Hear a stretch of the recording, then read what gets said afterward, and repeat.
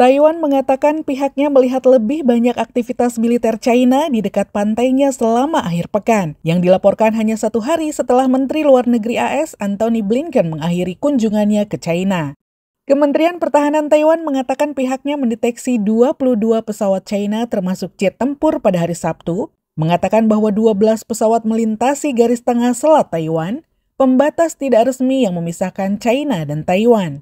Kementerian menambahkan bahwa pesawat tersebut juga melintasi zona identifikasi pertahanan utara Taiwan. Saat mengunjungi Beijing, Blinken mengatakan bahwa dia menekankan pentingnya menjaga perdamaian dan stabilitas di selat Taiwan. Beijing mengatakan bahwa pihaknya tidak mengakui garis tengah tersebut dan secara teratur mengirimkan pesawat melintasinya.